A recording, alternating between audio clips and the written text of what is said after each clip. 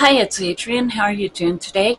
And so I'm back with a couple of, um, well, I went ahead and did a makeup look and um, have been trying to do a video, had a couple of technical problems, but I guess we'll go ahead and get started now. As far as what I have on today, I have the Supergoop Glow Oil with the SPF 50, the True Match, and this one is in Cool 1. And then I did go ahead and use the, uh, let's see, uh, Pretty Fresh Concealer by ColourPop as well. So that's what I have on for the base. And then as far as what I went ahead and did on the lips today, I used the Lippy Pencil from ColourPop in O Snap. And the next, um, this is one of their butter glosses. So yeah, that's what I have on there.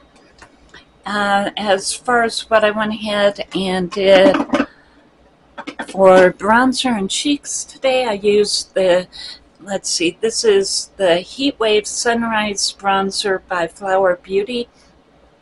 And it's a great one. It has a mauve sort of rose kind of look to it. So yeah, if you're looking for a rosy kind of bronzer, this one is definitely one of the affordable ones out there.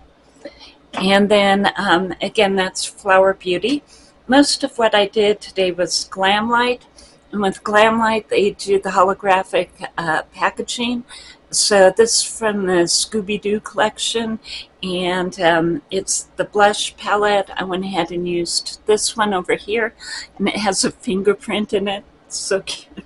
And then this one has a flower in it, and they're just, um, it's just a really fun collection and uh, more holographic. So they go from Scooby and Shaggy to the scary guys, and I went ahead and used um, this highlighter down in the bottom, and it's one that shifts gold. It has a lot of glitter in it, so you do see actual glitter on your cheeks.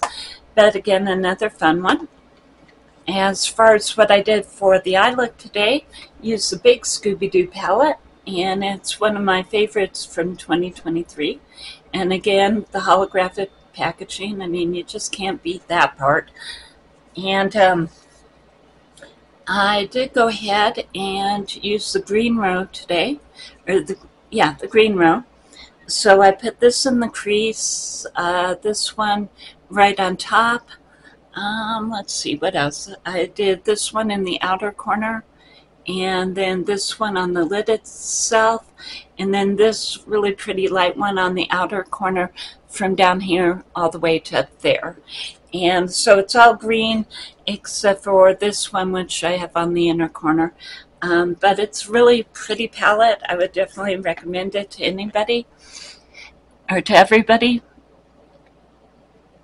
And then I did go ahead and use some of the Kokie and uh, the Emerald eyeliner here. And it came off a little bit more blue than I thought that it was going to come out. But, you know, it works. And it's kind of cool having a different color on the bottom. And um, the only other thing that I don't think I've mentioned is the Glowish Powder and Fair. So I had that one. And then I also did use Essence Thick and Wow in Caramel Blonde. And yes, I have stuff trying to fall off my lap here. So Caramel Blonde and then the Sky High uh, mascara. And I used both the primer and the actual mascara itself. So that's what I have on there. As far as uh, what the video is actually about, it's kind of a different kind of love story. And I was lucky enough about five years ago um, to go ahead and get a dog from ARF. And they are a group that goes ahead and places dogs, and they're a rescue, a dog rescue. And the dog that I got was named Pippa. She's been on the channel a couple of, couple of times, and she was about seven years old when we got her we were kind of concerned of getting an older dog, um, but at the same time, it was just a really good fit. And so now, five years later, and she did finally pass, and it was really difficult. And it was end stage renal disease. And unfortunately, with that one, it's a silent killer in dogs. As soon as they start showing symptoms, they're usually at about 60 to 75% of their renal, their kidney uh, function is gone by that point. With her, it was about 90%, and she only had about four days left. So it was really sad. And it was a lot of stuff going on all at once. And, um, but what I wanted to do, and I've tried doing this uh, video before is first off, I want to first off tell you how much, what a just good dog.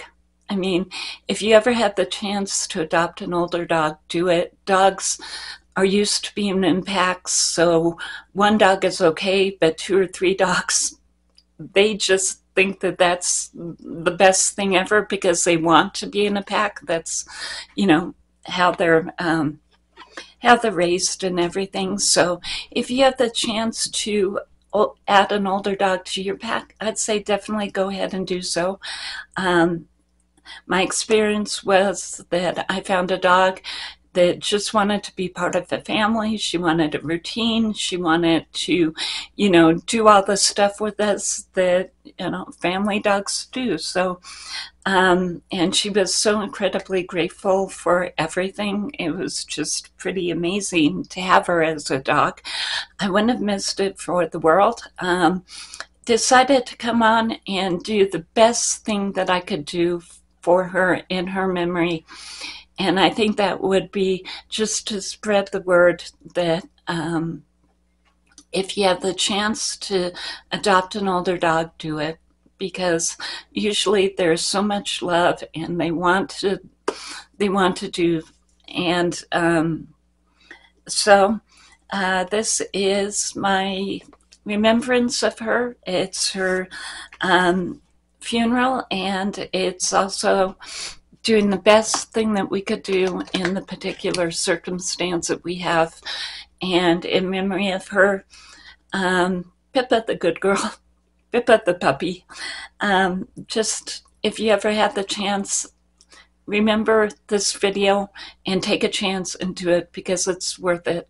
And five years of love for one week of, you know, difficulty isn't it's so worth it. Just take a take a jump, take a leap, and go ahead and do it because nine times out of ten it'll be worth it. So uh, that's my video, and I think we did everything.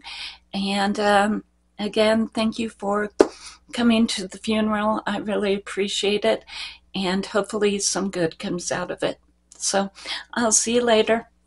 Bye.